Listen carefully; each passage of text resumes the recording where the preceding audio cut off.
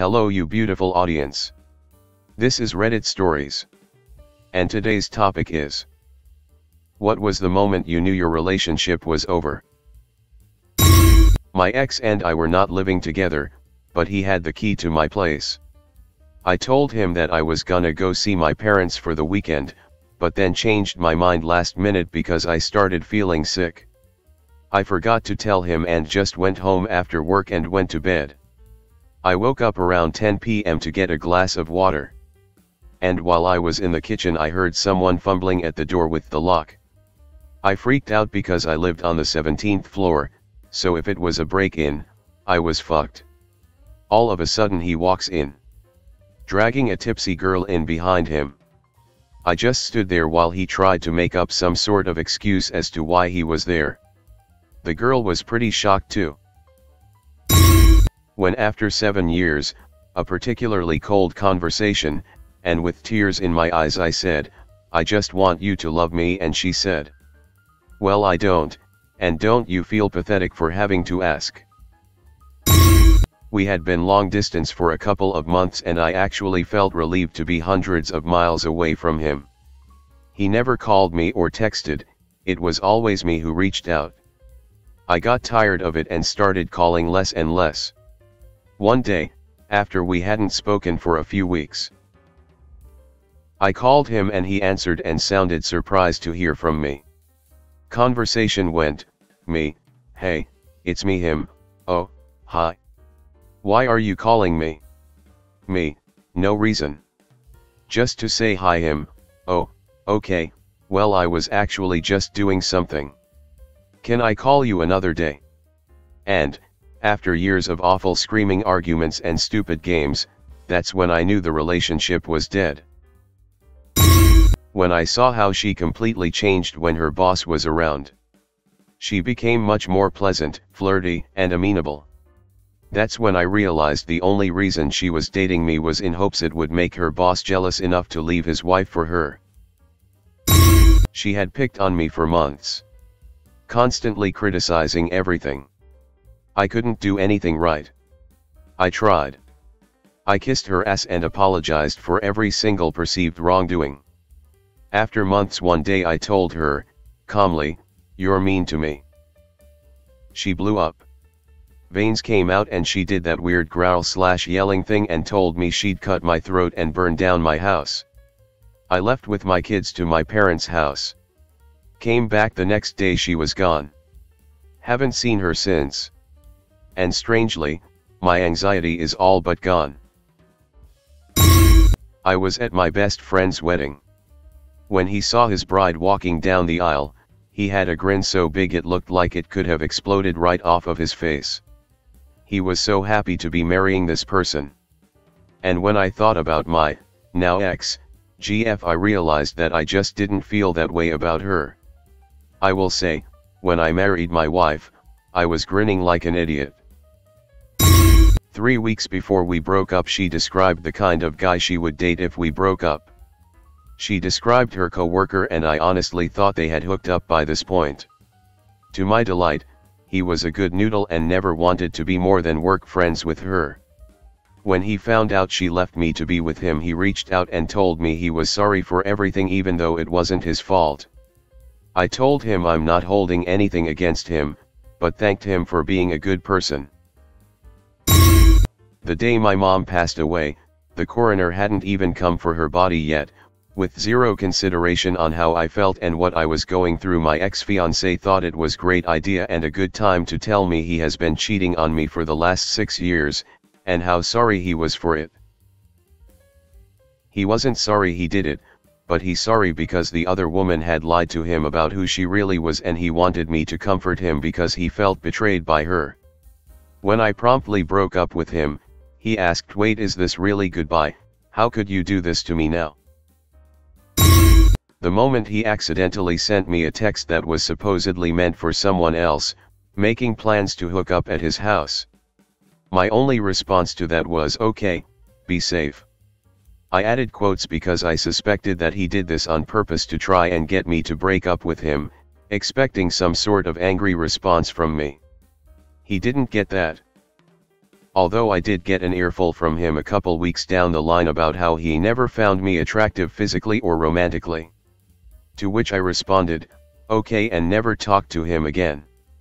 To this day, I will never understand why some people choose to play games rather than just be upfront. No matter, I'm now happily married to an amazing person. He stopped talking to me three days into a three-week holiday, I made the best of it, once home the silent treatment continued for another three weeks. He rolls over in bed one morning and starts talking like nothing happened. I should have ended it long before, but that was the moment I knew it was over. Hanging out with them feels often like a chore than something you're excited about. Walking on eggshells to avoid them getting mad. They don't match your efforts like they used to. Noticing they don't listen when you're talking. They don't feel like home anymore. They download Tinder and see people. They cheat on you. Married for 21 years. The last 10 were devoid of any love, warmth, or caring. I, am 53, did not want to get divorced and figured this was just the way the rest of my life would be. We were taking our third shot at marriage counseling and after a few months, my wife says she has to quit counseling because she wants to attend a meditation class at the same time. She had something better to do than work on our marriage. That's when it hit me that she didn't GAF at all about our marriage and I decided that I did not want that to be the rest of my life. We're currently two and a half years into divorce. It's painful and expensive but personally I've never been happier. I am leading my best life. So so glad I decided to move on. When he went from spending so much time with me and giving me updates about his day without me having to ask him, to going missing in action for days on end to the point where I had to beg for him to spend some time together. Found out from a mutual friend that he had started seeing someone on the side two weeks before we called it off. Life was stagnant. We mutually called it quits after we had a talk, and it went better for both of us. We gave it the good old college try but we still grew apart. Good times. I hadn't slept in our bed for 18 months and asked don't you even miss me in here? No. Edit, I offered to sleep in the guest room due to my snoring, weight gain, stress of working several jobs, and general stress of life slash marriage. We never slept in the same bed again. I now know after therapy I was immensely depressed and am much better at taking care of myself both physically and mentally. While the marriage didn't recover, we have two amazing kids and my headspace is much more free.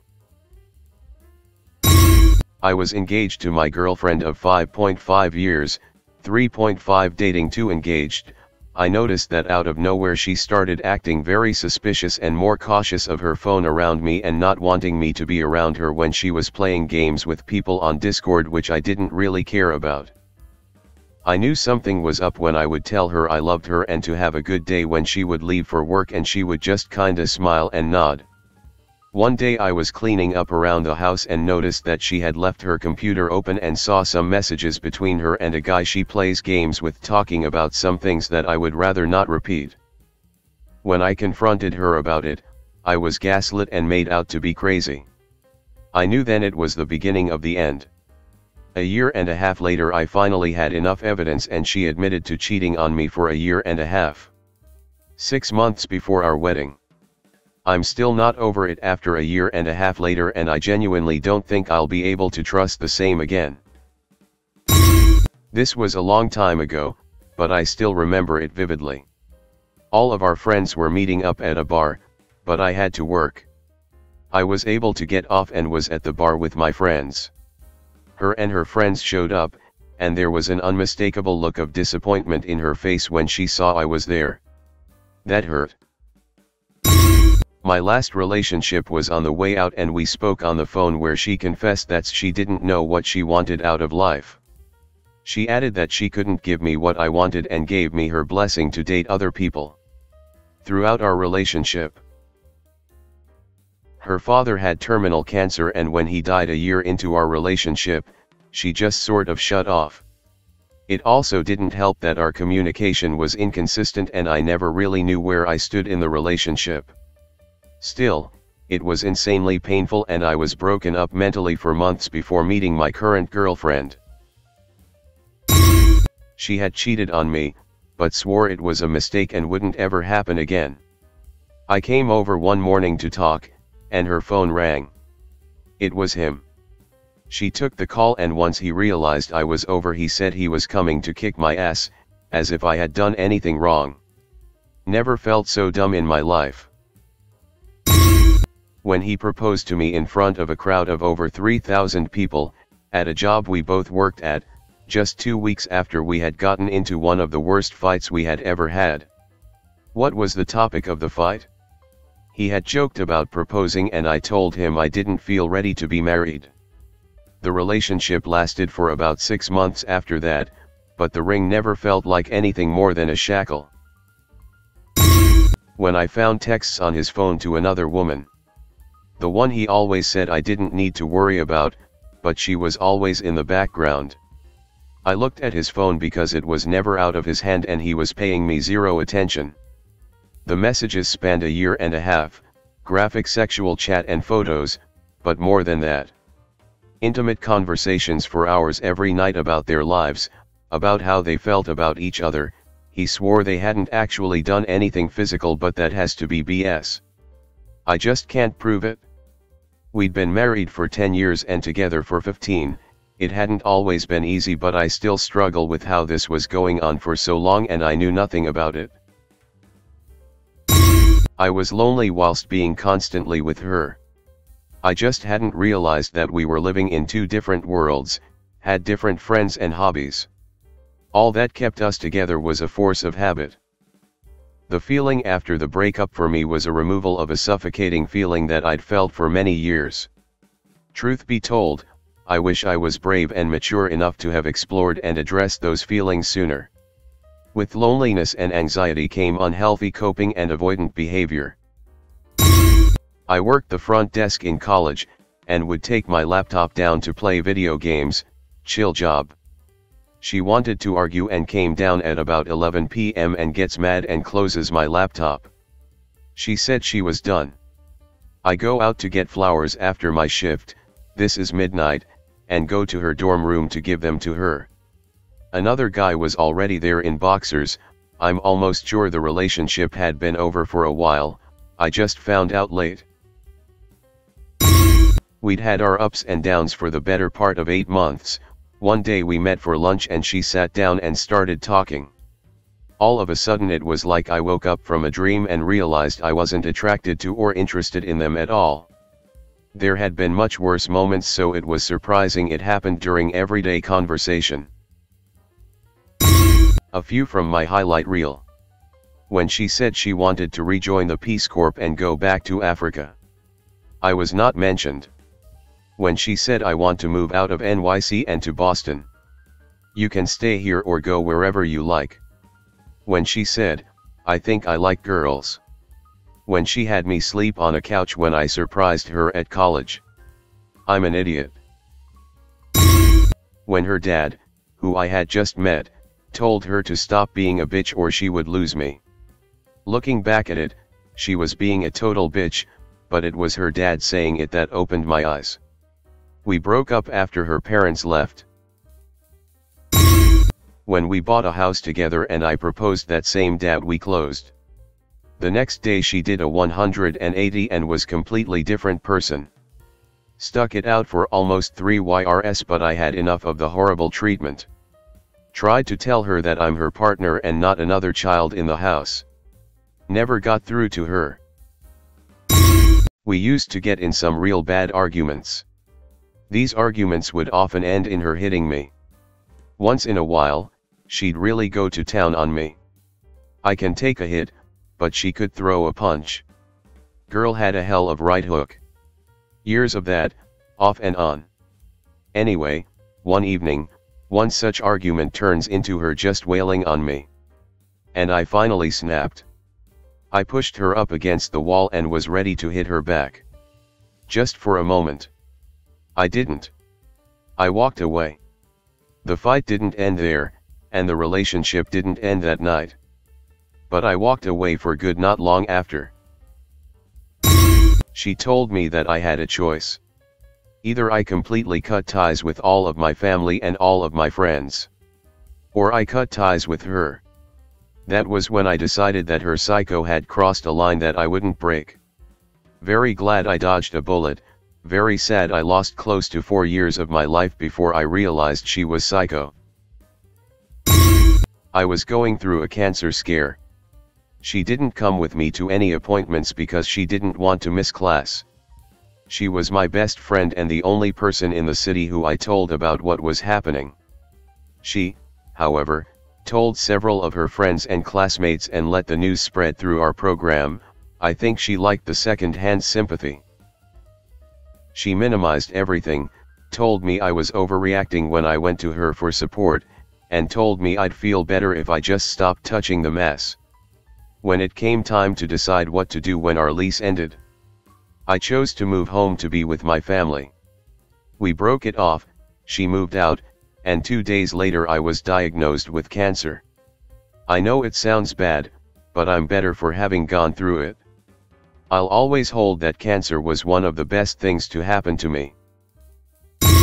Catching him deep guts in a 16 years old, while he was 21 or 22, in his car was a hint.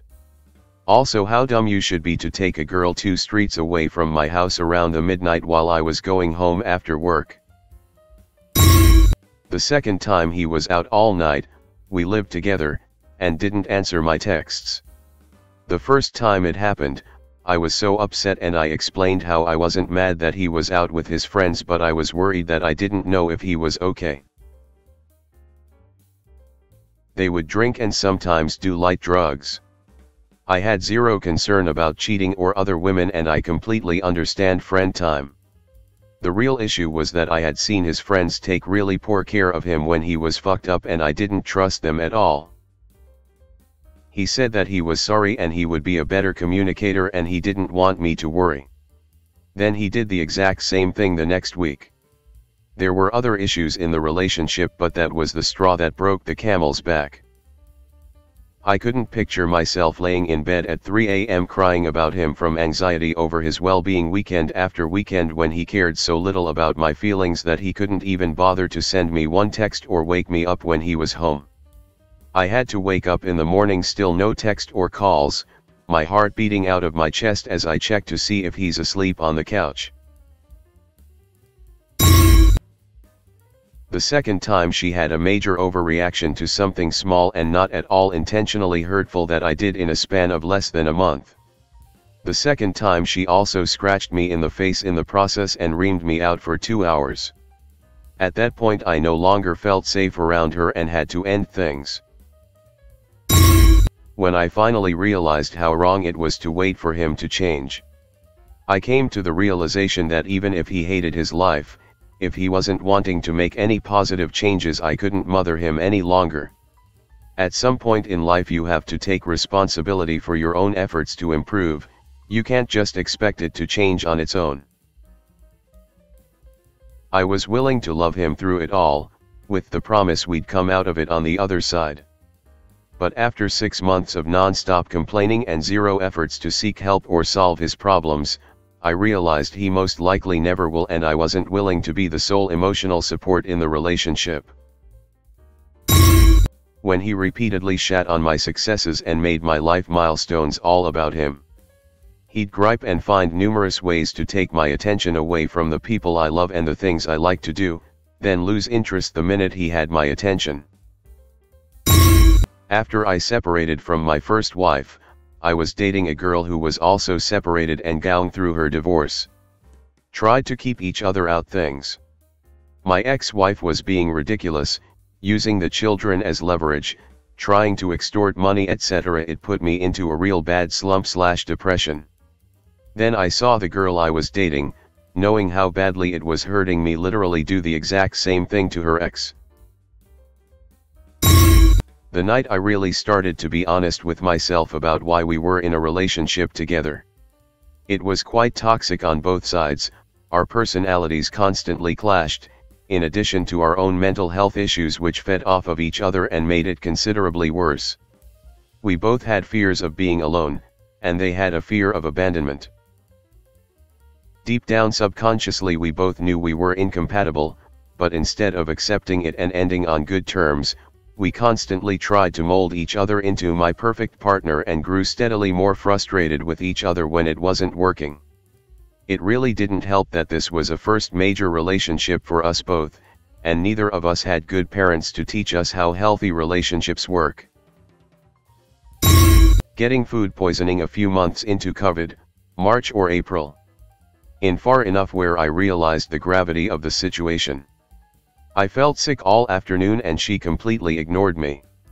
I still made dinner and put the kids to bed, or began the bedtime routine and had to run to the bathroom and proceed to projectile vomit.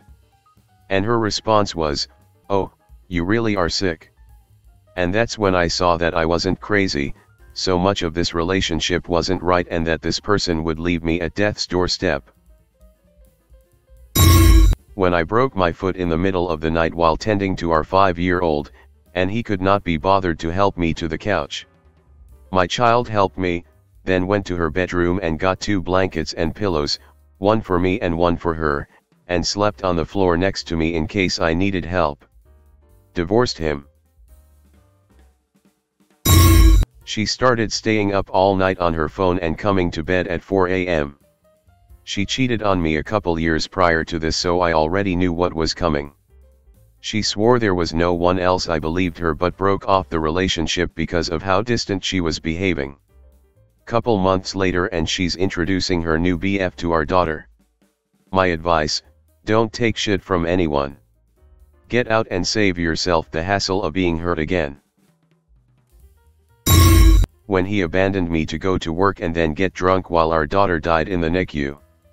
He didn't even answer his phone when the hospital and I called him repeatedly. I held my dead baby alone.